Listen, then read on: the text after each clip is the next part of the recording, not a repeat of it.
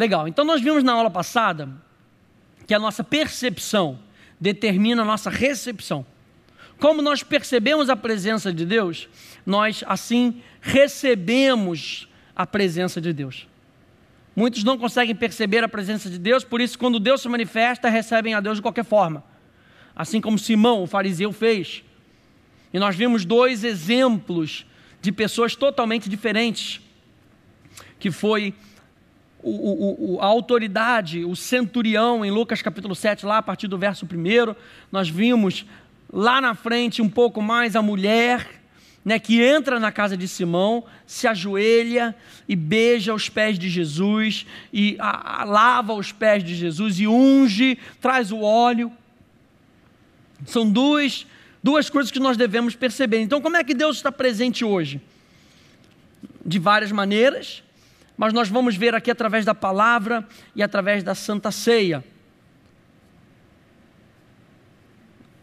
O homem o centurião reconhece que Jesus era o profeta. Simão se pergunta se esse homem fosse profeta, ele saberia disso. E Apocalipse capítulo 19, verso 13, vai dizer o seguinte: está vestido com manto tinto de sangue, e o seu nome se chama Verbo de Deus. Então, uma, uma maneira como nós per podemos perceber a Deus é através da Sua palavra.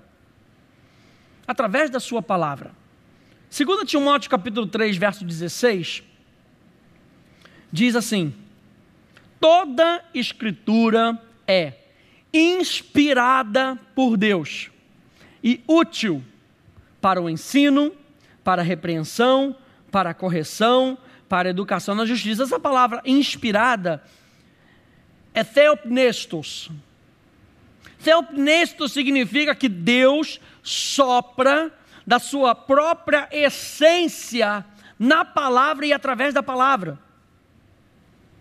Ou seja, quando nós estamos ouvindo a palavra, nós estamos recebendo o sopro de Deus através da palavra. E qual é o propósito dessa palavra? Qual é a recompensa que nós recebemos dessa palavra? Ensino, repreensão, correção, educação na justiça, nessa retidão, a fim de que o homem de Deus seja perfeito o ponto dessa palavra é com que a sua alma se associa ao seu espírito, o seu espírito, a sua essência é perfeita, a sua alma, os seus sentimentos ainda não são perfeitos. Então, o objetivo dessa palavra é que através do teu espírito, ele capacite a sua alma para que você seja em todo perfeito a fim de que o homem de Deus seja perfeito e perfeitamente habilitado para toda boa obra. Então nós temos que perceber que quando essa palavra é falada, Deus está falando. 2 Timóteo, um pouco mais à frente, capítulo 4, verso 1. Conjuro-te perante Deus e Cristo Jesus, que há de julgar vivos e mortos, pela sua manifestação, oi, e pelo seu reino. Pela manifestação e pelo reino de Deus. O reino de Deus é o governo, é o sistema. A manifestação é aquilo que o governo de Deus produz na nossa vida e é o que Deus quer ver, que são os frutos.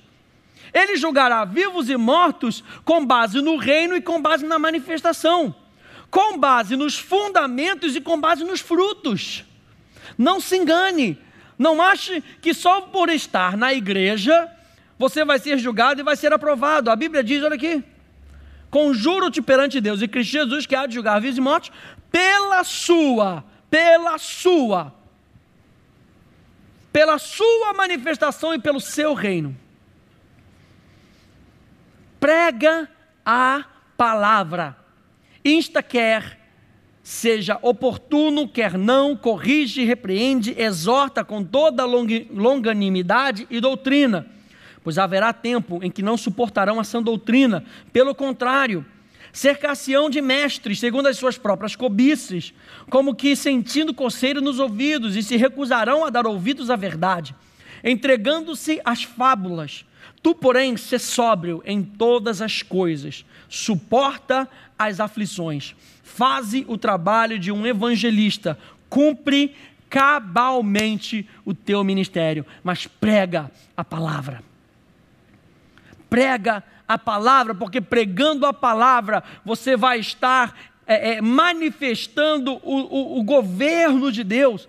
E quando o governo de Deus é implantado nos corações, há uma manifestação desse governo. O que Deus quer ver é com que o governo de Deus que chegou na sua vida seja manifesto. As pessoas precisam ver. E o Verbo estava entre nós, e nós o vimos. Há de haver uma manifestação no nosso meio dos filhos de Deus. E as pessoas precisam reconhecer isso. Você pode ver isso lá no módulo onde nós falamos sobre nós sermos filhos. E uma das lições que nós vemos lá é como é que as pessoas conseguem perceber que nós somos filhos de Deus. Há certos frutos, há certas manifestações que as pessoas conseguem olhar e ver, puxa, mas tem algo diferente nele. Mas essa manifestação tem que ser baseada num fundamento, que é o reino de Deus. O reino de Deus é o sistema governamental, é o sistema que governa a nossa vida, é o sistema que administra a nossa vida. Então, baseado nesse sistema, ele produz certas manifestações. E aí você vê lá em Mateus capítulo 5 as bem-aventuranças. As bem-aventuranças são manifestações do governo de Deus. Ah, essas manifestações também podem ser chamadas de a cultura do reino de Deus. Como é que é a cultura de um reino de Deus? A cultura de um reino de Deus, ela é definida pelo rei, pela vida do rei. Como o rei vive, ele espera que os seus, que os seus é, é, é, súditos também vivam. Então a palavra de Deus é Deus soprando a si mesmo em nós. Se você consegue perceber o que está acontecendo nesse momento, ao você ouvir essa mensagem nessa nesse dia, você tem que entender que é Deus soprando vida em você. Para quê? Para te ensinar. Nós vimos lá em, em 2 Timóteo capítulo 3, para te ensinar. Para te repreender. E essa repreensão, amados, é para trazer as pessoas para o trilho.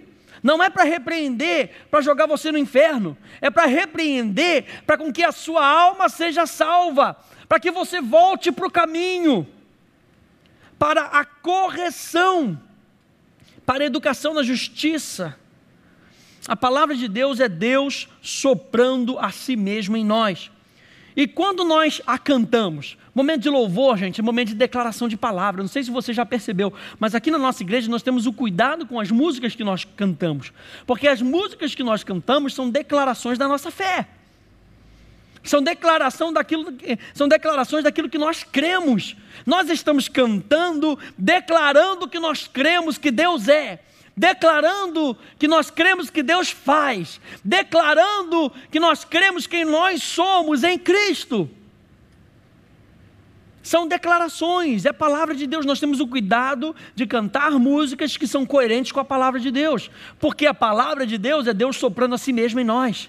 Então, quando nós liberamos essa palavra, nós temos que estar conscientes de que aquela palavra ela vai nos encher. Mais uma vez, aquilo que nós estamos declarando com os nossos lábios, que sai do nosso coração, ela volta para nós e nos enche mais uma vez. Ora, a boca fala do que está cheio o coração, e o coração se enche daquilo que a boca fala. É um processo, gente. Por isso nós, pode, nós não podemos cantar qualquer coisa. Nós temos que avaliar. Temos que ser pessoas que avaliam as nossas músicas. Então, aquilo que nós cantamos, aquilo que nós anunciamos, aquilo que nós oramos, nós estamos liberando Deus aonde estivermos. E isso deveria ser o suficiente para celebrarmos.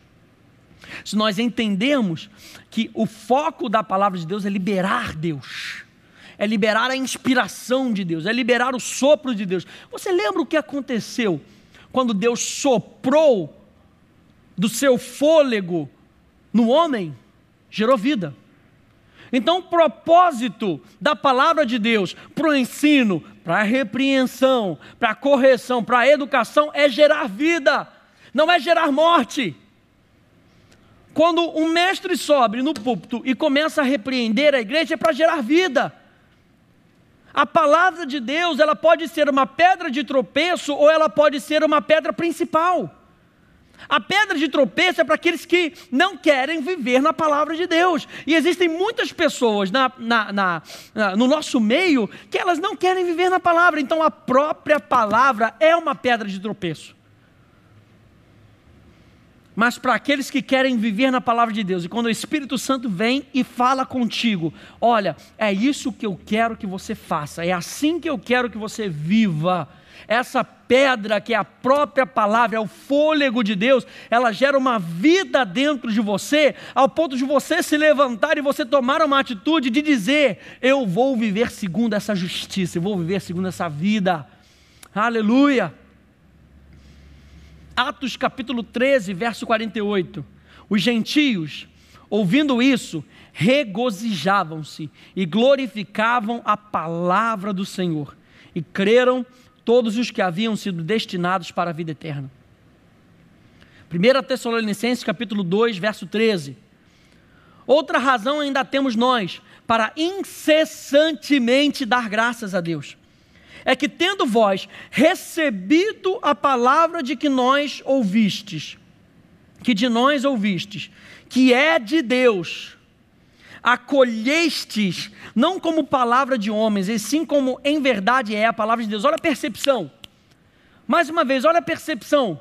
Puxa, mas isso que ele está falando não é a palavra de homem, é a palavra de Deus. Então o que, que eu vou fazer? Eu vou acolher, a qual com efeito está operando em vós, os que credes. Gera uma fé, eu acolho, gera uma fé que vai determinar uma recompensa. Atos 17, verso 11. Ora, estes de Bereia eram mais nobres que os de Tessalônica, pois receberam a palavra com toda a avidez, examinando as escrituras e todos os dias para ver todos os dias para ver se as coisas eram de fato assim. Então, a verdade desse ponto da palavra de Deus, nós estamos falando sobre celebrar a presença de Deus. Um dos pontos de que nós podemos celebrar a presença de Deus, e a verdade desse ponto diz o seguinte: na presença de Deus, eu ouço Deus falando comigo.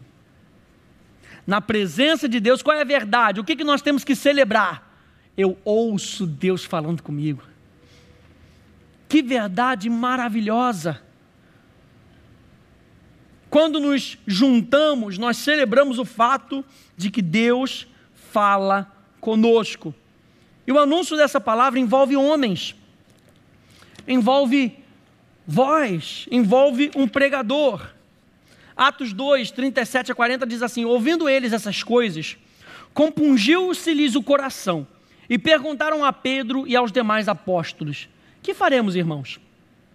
Respondeu-lhes Pedro: Arrependei-vos e cada um de vós seja batizado em o um nome de Jesus Cristo para a remissão dos vossos pecados e recebereis o dom do Espírito Santo. Pois para vós outros é a promessa, para vós filhos e para todos os que ainda estão longe, isto é, para quantos o Senhor nosso Deus chamar. Com muitas outras palavras deu testemunho e exortava-os dizendo: Salvai-vos dessa geração perversa. Então, a qualidade mais valiosa, gente, na edificação do corpo de Cristo é o pregador. E você tem que entender que Deus deposita uma graça no pregador para que quando ele anuncie, ele anuncie algo que dê vida. Ele anuncie algo que gere vida na tua vida, na tua circunstância na tua adoração. Gente, a base, o fundamento da nossa adoração é a palavra. Não dá, gente, para a gente adorar a Deus sem a palavra. Nós temos um outro módulo que nós falamos só sobre isso. Nós falamos sobre a palavra impregnada na gente. Essa palavra impregnada é que vai nos ajudar a responder. Como é que eu respondo a Deus? Eu respondo a Deus com a palavra. Eu respondo às situações com a palavra. Eu respondo às críticas do mundo com a palavra. Zacarias capítulo 4, verso 6 e verso 7, eu vou ler para você, a gente ganhar um pouco de tempo. E respondeu e me falou, dizendo: Esta é a palavra do Senhor a Zorobabel, dizendo: Não por força, nem por violência, mas pelo meu espírito, diz o Senhor. Não por força, nem por violência, mas pelo meu espírito, diz o Senhor, o Senhor dos exércitos. Quem és tu, ó monte grande? Diante de Zorobabel serás uma campina, porque ele trará a primeira pedra com aclamações. Que aclamações são essas? Graça, graça. Ele vai falar. Aclamações é algo que nós falamos em voz alta. Nós vamos declarar com declarações, com anúncios. Segunda Pedro capítulo 9 fala que nós fomos comprados, nós somos propriedade exclusiva de Deus, nós somos raça eleita, nós somos reis e sacerdotes, a fim de proclamar, a fim de anunciar as virtudes, as qualidades, os predicativos daquele que nos chamou das trevas para sua maravilhosa luz. E aqui o profeta falando a Zorobabel, ele diz: Você vai começar isso com aclamações de graça e graça. Isso no verso 7. No verso 9, nós vemos que a palavra de Deus diz para Zorobabel que ele também vai completar. E Zorobabel, gente, era um tipo de Cristo. Ele estava tipificando Cristo, aquele que começa e aquele que termina. Eu sou o Alfa e eu sou o Ômega, eu sou o início e eu sou o fim aquele que começou a boa obra há de completá-la em Cristo Jesus. Então Zorobabel tipificava esse Cristo que era o Alfa e o Ômega. Ele começa a obra e ele termina a obra. E nós temos que entender que a nossa vida de, de, de vitória, a nossa vida que é guiada pelo Espírito Santo, ela é totalmente dependente. Porque veja bem, nós somos guiados em triunfo. Mas para que nós possamos é, é, experimentar esse triunfo, nós temos que ser guiados. E os filhos de Deus são aqueles que são guiados pelo Espírito. Essa aclamação de graça é uma aclamação de total dependência de Deus. Ele começou a obra, ele fará. A Bíblia diz em Isaías que nós somos plantados pelo Senhor para que todos saibam que essa obra é dele. Os gritos então seriam não de alegria pelo que o homem fez, mas de graça, graça. Quando a obra estivesse terminada, um reconhecimento em agradecimento deveria ser feito não por consequência de qualquer poder humano, mas por causa da graça de Deus que envolve a sua influência, a sua operação e o seu favor através do seu espírito. Do início ao fim, nada deveria ser feito por obras, mas tudo pela graça. Graça, graça. É a linguagem de oração, é a linguagem onde você começa o seu trabalho dizendo: Eu dependo de Deus. Eu clamo por dependência, Espírito Santo me influencia. Eu clamo por, por, por dependência. E no fim, você grita graça, para dizer e agradecer e louvar a Deus pelo favor obtido por nos posicionarmos debaixo dessa influência. Eu grito no início graça porque eu dependo, eu grito no final graça apontando para essa dependência, um grito de louvor. Graça, graça. Ele construiria com aclamações, graça, graça, do início ao final, graça, graça. Depois de três dias, graça, graça. Depois de X dias, graça, graça. Estamos fazendo pela graça e vamos terminar pela graça. Começamos com graça e vamos terminar com graça. Essa é a linguagem, sim, gente, que a gente proclama quando nós estamos falando da palavra de Deus. Quando nós estamos adorando, as nossas aclamações, você tem que ter no seu coração que as suas aclamações têm que ser de graça graça. Sabe o que isso quer dizer? Que a sua adoração vem por influência do Espírito e que o seu louvor é dado por causa dessa influência. Romanos capítulo 10, verso 8, verso 8 até o 17, diz: Porém, que se diz? A palavra está perto de ti, na tua boca e no teu coração, isto é, a palavra de fé que pregamos. Se com a tua boca confessares Jesus como Senhor, e em teu coração creres que Deus o ressuscitou dentre os mortos, serás salvo. Porque com o coração se crê para a justiça e com a boca se confessa a respeito da salvação. Porquanto a Escritura diz: todo aquele que nele crê não será confundido. Pois não há distinção entre judeu e grego, uma vez que o mesmo é Senhor de todos, rico para com todos os que o invocam. Porque todo aquele que invocar o nome do Senhor será salvo. Como, porém, invocarão aquele em quem não creram? E como crerão naquele de quem nada ouviram? E como ouvirão se não há quem pregue? Nós estamos falando do pregador. E como pregarão se não forem enviados? Como está escrito, conformosos são os pés daqueles que dos que anunciam coisas boas. Mas nem todos obedeceram ao evangelho, pois Isaías diz: Senhor, quem acreditou na minha pregação, na nossa pregação? E assim a fé vem pela pregação e a pregação pela palavra de Cristo. A NVI diz assim: consequentemente, a fé vem por ouvir a mensagem, e a mensagem é ouvida mediante a palavra de Cristo. Então a graça te leva à salvação, a graça te leva ao destino que Deus tem para você. A graça te leva a fazer o que Deus te chamou para fazer. A graça te dá a identidade de um filho de Deus. A graça é Deus te trazendo para si cada vez mais. A graça é a influência do Espírito que te ensina acerca de Cristo, e Cristo é aquele que te aponta para o Pai. Vocês querem ver o Pai? Olhem para mim, disse Jesus a Filipe. É a graça, é a influência. E o pregador, então, é o dispenseiro da graça através da proclamação. O que, que ele proclama? Graça, graça. Os gritos são de graça, graça. Quem inicia é o Espírito, quem termina é o Espírito. O apóstolo Tamunai, da River, da, da, da River of Life, em Pyramidsburg, na África do Sul, ele tem uma frase que é muito interessante. Homem de Deus, conheci-o pessoalmente, homem de Deus. Ele diz o seguinte: onde não há uma voz, não há clamor. Onde não há clamor, não há salvação. Deus sempre necessita de uma voz através do qual ele opera.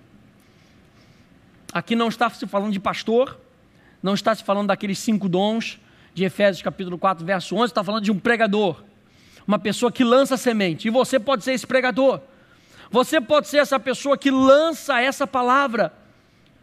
Só que quando você estiver na qualidade de ouvinte, você tem que entender que o pregador, ele está, ele está construindo e edificando essa obra com gritos de graça, graça ele está anunciando a graça de Deus. Para quê? Para que isso gere vida em você e essa vida possa ser vista através de outros. Deus é Deus de vivos. A adoração que você tem que dar para Ele é uma adoração cheia de vida. Mas como é que você pode ter vida se você não recebe vida através da pregação da palavra? Se você não consegue perceber através da palavra que Deus está presente. Marcos capítulo 4, verso 13 verso 14, você conhece. Então ele lhes perguntou: Não entendeis essa parábola? E como compreendereis todas as parábolas? O semeador semeia a palavra. E esse semeador é o pregador, gente. A palavra, a, a, a parábola do semeador é a parábola do pregador. Você viu lá em Romanos capítulo 10? Como é que as pessoas vão ouvir se não há quem pregue? Quem é que vai pregar essa palavra? É o pregador. Então o semeador é o pregador, a semente é a palavra de Deus incorruptível. Como diz Pedro, é a semente incorruptível. E o terreno, eles são os diferentes tipos de solos, diferentes tipos de recepção. Esses terrenos são os diferentes tipos de recepção. Você pode ver isso na palavra até mesmo o bom solo, aquele solo que recebe a palavra de Deus, ele percebeu Caiu a semente no seu coração, ele recebeu. É a palavra de Deus para mim. Aleluia. Recebi a palavra de Deus nesse domingo, recebi a palavra de Deus nessa quinta. Um irmão no trabalho me deu uma palavra, eu peguei essa palavra, eu recebi. Até mesmo esse solo receptivo, ele pode produzir. Lembra que a percepção determina a recepção e a recepção determina a recompensa. Até mesmo esse solo receptivo, ele pode produzir a 30, 60 e a 100. Isso quer dizer que esse solo receptivo, ele trabalhou nessa semente apenas a 30, apenas a 60, ou então a 100 por um. Quando a palavra de Deus é declarada pelo Espírito de Deus, Cristo está presente para instruir, para encorajar, para corrigir, para iluminar, para abrir os nossos olhos e nos transformar. Cristo está presente. Talvez esse método pareça um método comum para muitas pessoas. Ah, é muito comum, o camarada está pregando, ele está falando ali, que maneiro, que legal. Ele estudou a palavra, fez seminário, está ali pregando, que bom. Mas você não entende que Cristo escolheu esse método como um dos métodos para estar presente no nosso meio. Quando eu estou pregando a palavra, e essa palavra é direcionada por Deus, cheio de vida, é Cristo soprando vida no nosso coração. E sabemos que Cristo está presente quando a verdade é pregada. Não quando qualquer coisa é pregada. Porque eu posso pregar aqui um, um, um e usar a palavra pregação para pregar qualquer coisa, para pregar o que eu acho, para pregar contra alguém, para pregar contra um irmão que fez isso. Cristo está presente quando a verdade é pregada. Quando o caráter dele é anunciado. Por isso Jesus diz em Mateus capítulo 18, 20, porque onde estiverem dois ou três reunidos no meu nome, ele é a verdade, ele disse, eu sou a verdade. É, é, caráter de Deus. Quando vocês estiverem reunidos, na verdade, ali eu estarei. Aleluia. 1 Coríntios capítulo 5, verso 4. Quando vocês estiverem reunidos em nome do Senhor Jesus. Não é estar reunidos debaixo da bandeira cristã. Não é estar reunidos debaixo da denominação é estar reunidos no nome do Senhor. Estar reunidos no nome do Senhor quer dizer que nós estamos, nós mantemos comunhão com Ele. Estar reunidos não é vir a um culto e você sentar na, num, num, banco e você achar que porque a pregação está sendo feita, você está se reunindo. Isso quer dizer que você que mantém comunhão com Deus, existe verdade depositada dentro de você, e você se une com o irmão, que existe verdade depositada dentro dela, e aí, quando vocês se unem, essa verdade começa a mexer dentro de vocês. E quando vocês falam, isso começa a agitar.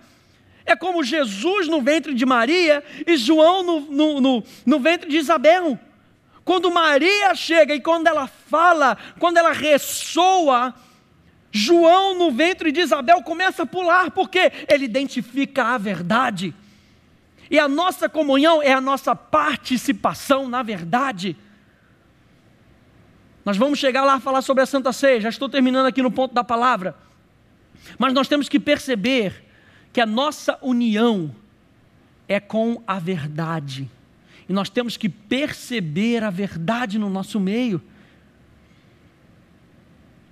Quando vocês estiverem reunidos em nome do Senhor Jesus, estando presente também o poder do nosso Senhor Jesus, porque o Evangelho de Deus é o poder de Deus para a salvação, ele é o poder. Nós temos que identificar isso, nós temos que perceber essa verdade. Cada crente tem a presença de Cristo dentro de si. Mas a promessa aqui se refere quando dois ou três estiverem reunidos no seu nome, reunidos no caráter. Procure na Bíblia o que, que o nome de Cristo significa, o que, que o nome, os nomes de Deus significam. E aí, quando você se reunir, você se reúne no nome, no caráter daquela pessoa.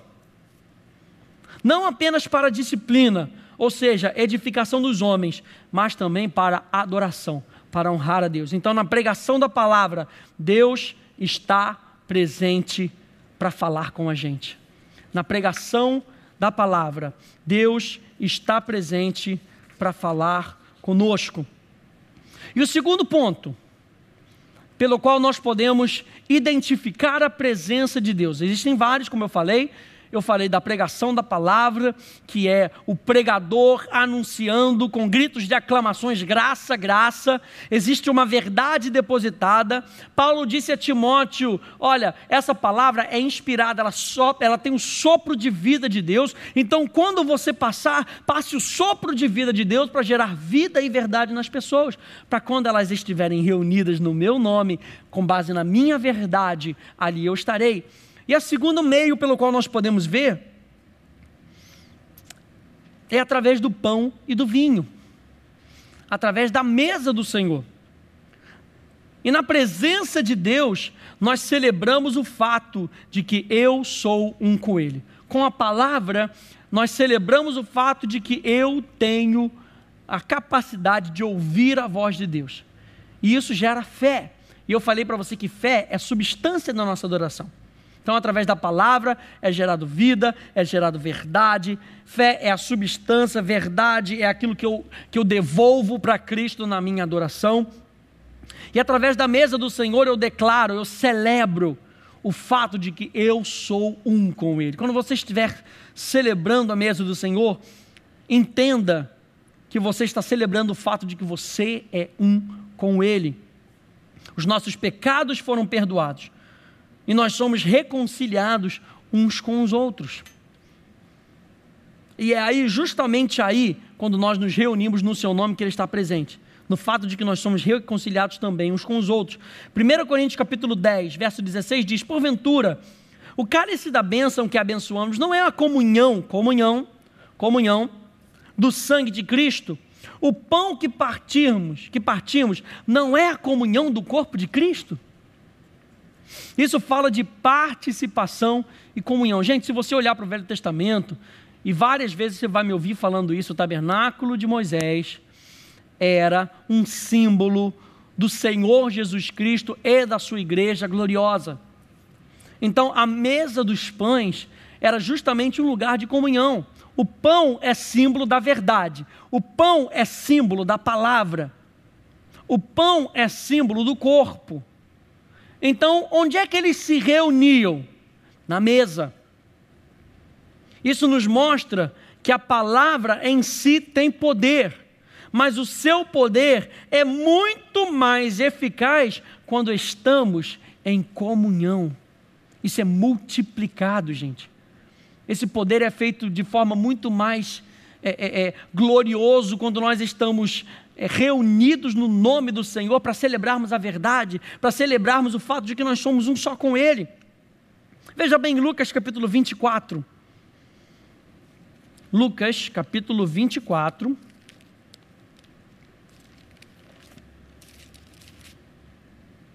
Verso 15, a partir do verso 15 até o verso 32. Lucas 24, verso 15.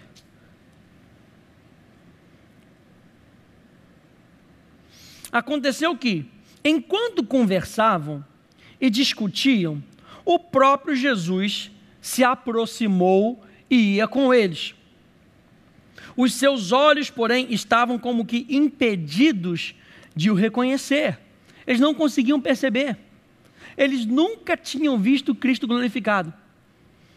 Eles se, eles se relacionavam com Cristo que era carne. E era assim que eles percebiam. Tanto que Jesus, quando ele fala lá em Mateus capítulo 16, ele pergunta aos seus discípulos: O que que os homens têm dito que o filho do homem é? Porque a designação de filho do homem, quando você vai para Ezequiel, você vê que aquela é uma designação de uma pessoa que foi humilhada, que é um, é, é, é, é ele é frágil, ela tem um corpo, então ela está sujeita a esse corpo. O filho do homem, um profeta. Então qual é a resposta deles? Uns dizem que você é profeta tal, que é Elias, que é João Batista, ou um dos outros profetas, que é Jeremias, pá. eles, eles conseguiam se identificar com Jesus como profeta. Os homens viam a Deus como profeta. Mas Jesus sabia que a expressão filho do homem era uma expressão messiânica. Quando Jesus estava dizendo, Eu sou o filho do homem, verás o filho do homem, ele estava citando Daniel capítulo 7, verso 13, para dizer, Eu sou o Messias. Então, os homens não conseguiam perceber que quando ele dizia o filho do homem, a referência era eu sou o Messias. Mas oculta é, dentro dessa visão do, do profeta, do homem profeta. E aí Pedro tem a revelação e disse: Tu és o Cristo, ou seja, o Messias, o Filho do Deus vivo. E Jesus disse: Muito bem, garoto, não foi nem carne nem sangue que te revelou, mas o meu Pai que está nos céus. Esses homens aqui que caminhavam no, em Emaús, eles não reconheciam a Deus como Senhor glorificado, porque eles nunca tinham visto Deus glorificado, Cristo glorificado. Então eles não conseguiam perceber. A Bíblia diz então que os olhos dele estavam impedidos de o reconhecer, os olhos dele estavam fechados. Por isso o apóstolo Paulo ora para que os seus olhos sejam iluminados, para que você possa ver e vendo você possa perceber o que está acontecendo, gente. Eles só conheciam o Jesus homem em carne e não estavam acostumados com o Cristo glorioso. Verso 17. Então lhes perguntou Jesus: Que é isso que vos preocupa? E de que ides tratando à medida que caminhais? E eles pararam entristecido. Um, porém, chamado Cleopas, respondeu, dizendo: És o único, porventura, que, tendo estado em Jerusalém, ignoras as ocorrências desses últimos dias? Ele lhes perguntou: Quais? E explicaram o que aconteceu a Jesus o Nazareno, que era o quê? Varão profeta, filho do homem. Poderoso em obras e palavras diante de Deus e de todo o povo e como os principais sacerdotes e as nossas autoridades o, pregaram, o entregaram para ser condenado à morte e o crucificaram. Ora, nós esperávamos que fosse ele quem havia de redimir a Israel, mas depois de tudo isso, é já este o terceiro dia desde que tais coisas sucederam. É verdade também que algumas mulheres daqui conosco estavam nos surpreenderam, tendo ido de madrugada ao túmulo, e não achando o corpo de Jesus, voltaram dizendo: terem tido uma visão de anjos, os quais afirmam que ele vive. De fato, alguns de nós foram ao sepulcro e verificaram a exatidão do que disseram as mulheres, mas não o viram. É necessário fé para enxergar. É necessário fé para enxergar. A fé é justamente o que abre a nossa visão. Eles não viram naturalmente e por isso perderam a esperança. A Bíblia diz que nós não somos daqueles que veem com os nossos olhos naturais, mas a nossa essência está na nossa crença, não na nossa lógica, na nossa crença, na nossa fé. E é por causa da nossa fé que nós vemos. Gente, visão é algo que você vê dentro. A fé te capacita a ter visão e é a visão que te dá esperança. Uma vez que você perde a visão, é porque você já perdeu a confiança, já perdeu a fé. 25. Então lhes disse Jesus: honestos e tardos de coração para crer tudo o que os profetas disseram. Porventura não convinha que o Cristo padecesse e entrasse na sua glória? E começando por Moisés, discorrendo por todos os profetas, expunha-lhes o que a seu respeito constava em todas as Escrituras. Quando se aproximava da aldeia para onde iam, fez ele menção de passar adiante, ou seja, ele começa a pregar a palavra. Nós falamos do ponto de pregar a palavra. Ele começa a pregar a palavra e a palavra é inspirada por Deus, então começa a gerar vida no coração deles, e ele de repente finge que vai ficar, ele espera uma reação. Veja bem, Jesus começa a esperar uma reação desses homens. Ele ameaça, diz aqui a palavra, que ele faz menção de passar adiante. Jesus estava esperando por um convite. Lembra que nós falamos quando nós falamos de Lucas capítulo 7, de Simão, que Simão faz um convite e Jesus aceita. O que, que Jesus estava esperando aqui? Um convite. Até aqui, ele já havia lhes dado a palavra, a verdade, mas Jesus espera por um convite para que possa dar mais, ou seja, sua própria presença revelada. Verso 29. Mas eles os, o constrangeram, dizendo: Fica conosco, porque é tarde e o dia já declina. E entrou para ficar com eles. E aconteceu que quando estavam aonde? Quando estavam à mesa, tomando ele o pão, abençoou e tendo o partido lhes deu.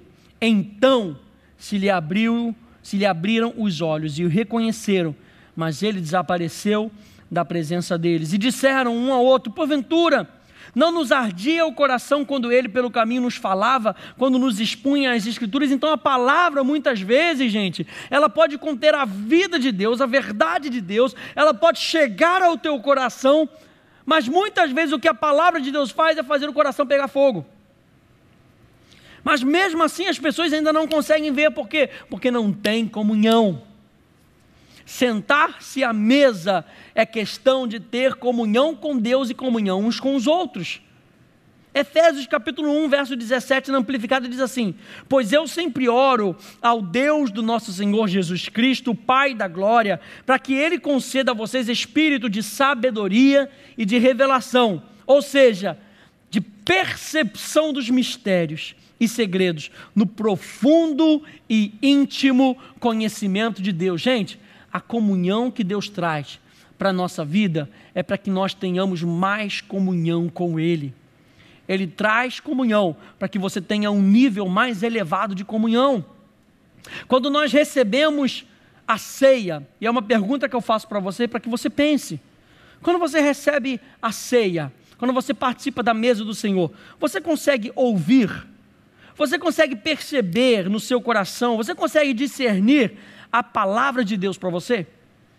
Porque você não pode participar da mesa sem ter nela pães. A participação da mesa é que nós comemos do pão juntos. Nós comemos da verdade juntos, nós celebramos a verdade de que nós estamos unidos. Com que propósito? Para nós comermos o pão juntos. O que, que isso quer dizer? Que nós temos a condição de ouvir a voz de Deus juntos.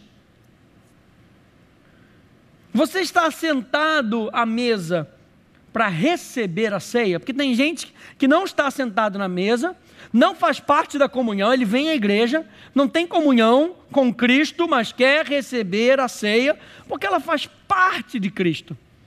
Você entende o contraste? A pessoa, ela aceita Jesus e ela acha que ela tem condição de participar da mesa. Por isso Paulo fala, gente, vocês têm que discernir o corpo. Vocês não podem tomar a ceia de qualquer maneira. Vocês têm comunhão com Deus, porque a ceia do Senhor, a mesa do Senhor, é uma declaração de que nós temos comunhão com Deus. Sua intenção é ter comunhão, participação nos desejos do coração de Deus? É isso que a ceia nos pergunta. Nós somos o povo aliançado com Deus. Por que isso é importante?